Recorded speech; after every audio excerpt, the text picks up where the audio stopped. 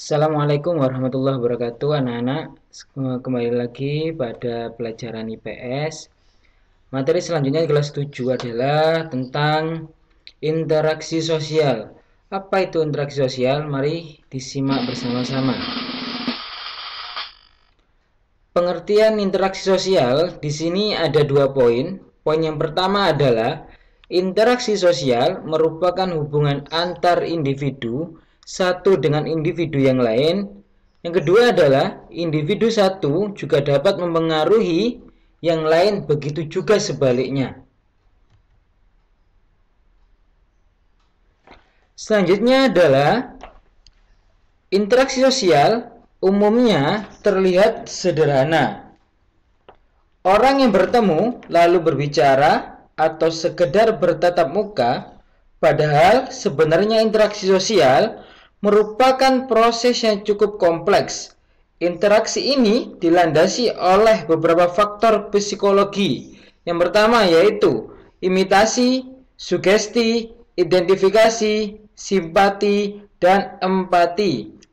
Faktor-faktor itu dapat berdiri sendiri atau berfungsi bersama-sama sebagai dasar terjadinya interaksi sosial Hal itu tergantung pada situasi dan kondisi.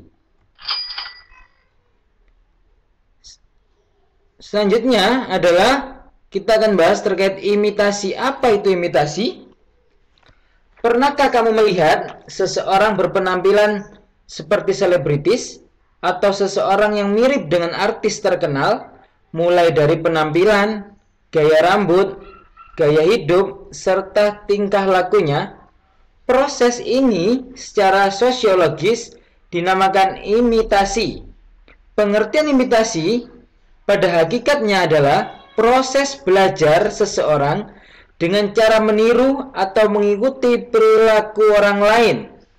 Kita contohkan di sini ada dua contoh. Yang pertama adalah seorang ayah sikat gigi dan anaknya menirukan sikat gigi. Ayahnya cuci muka, anaknya terkadang mengikuti untuk cuci muka.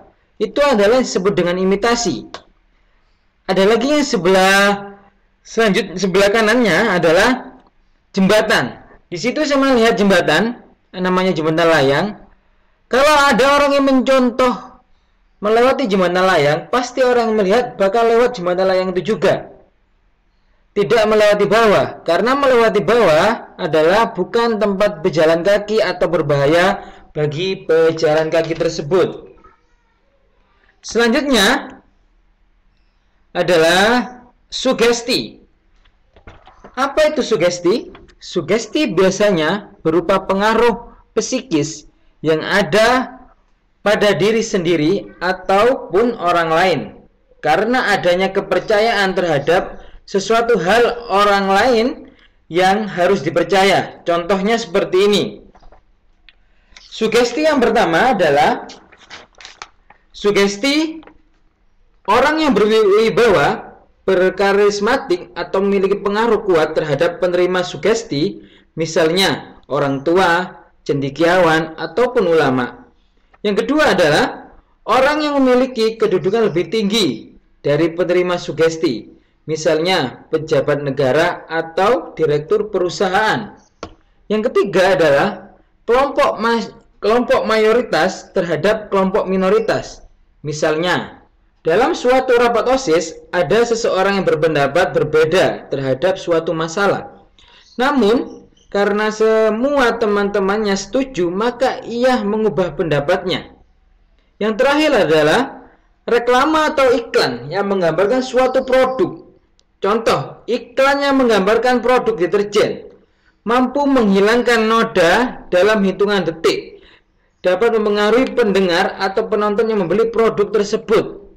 Terkadang kita tertarik terkait iklan-iklan yang menarik ataupun iklan yang dua kali lebih lembut, dua kali lebih wangi atau dua kali lebih bersih.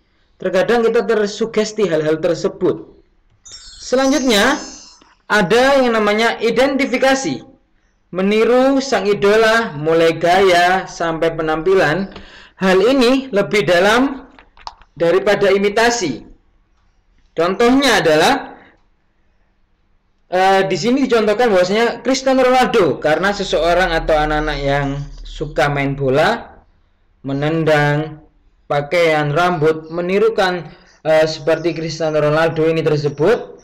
Dan contoh lain adalah uh, pada dasarnya proses identifikasi jauh lebih mendalam daripada imitasi.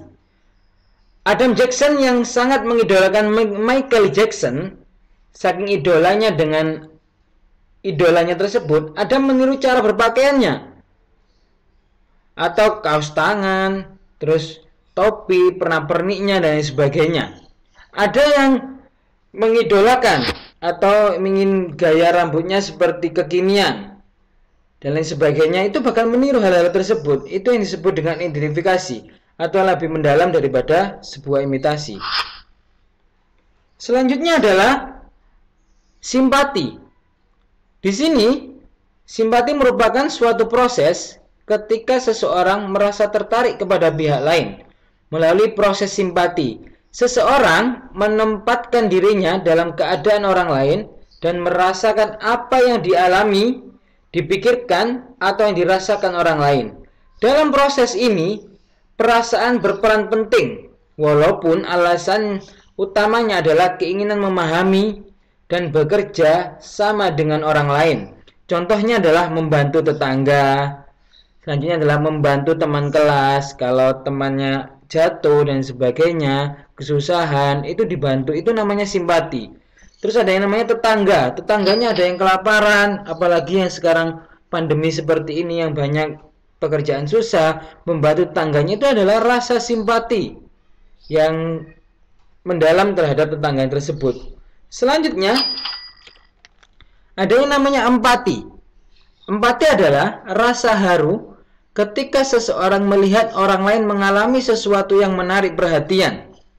Contohnya adalah ketika melihat para korban banjir dan tanah longsor di berbagai daerah yang kehilangan harta bahkan nyawa orang-orang yang disayangi.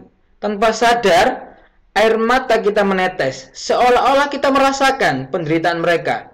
Segala bentuk bantuan akan kita lakukan untuk menolong mereka Demikian juga kalau seseorang teman dekat kita ada yang meninggal dunia, kita akan merasakan yang namanya rasa kehilangan, seolah-olah saudara kita sendiri yang meninggal. Di sini dicontohkan dalam dua gambar adalah bencana alam longsor, bencana alam uh, gunung meletus. Ini adalah banyak orang yang merasa iba atau merasa ingin membantu dan menangis atau sedih. Ini adalah yang dimaksud dengan rasa empati. Selanjutnya adalah motivasi. Motivasi merupakan suatu dorongan atau rangsangan, pengaruh atau stimulus yang diberikan kepada satu individu ke individu yang lain. Di sini ada dua gambar di sini adalah yang pertama adalah motivasi terhadap teman agar sampai tempat yang dituju. Contohnya adalah uh, ketika naik gunung, ada lima orang ada temannya capek ayo dekat lagi sudah puncak dekat lagi udah sampai itu adalah motivasi agar dia terdorong terangsang untuk tetap melanjutkan perjalanan. Selanjutnya adalah uh, pujian atau penghargaan dari guru ke murid. Oh nak bagus kamu telah menyelesaikan. Oh nak kamu bagus telah mengerjakan dengan baik dan benar. Ini adalah bentuk motivasi terhadap uh, seorang guru kepada murid agar tetap rajin untuk belajar. Demikian pelajaran IPS untuk hari ini. Mungkin ketika ada ditanyakan atau yang kurang uh, difahami bisa menghubungi melalui WA atau bisa diskusi melalui grup. Semoga apa yang kita dapatkan hari ini bermanfaat. Sekian dari saya. Wallahul muwafiq ila akumit. Wassalamualaikum warahmatullahi wabarakatuh.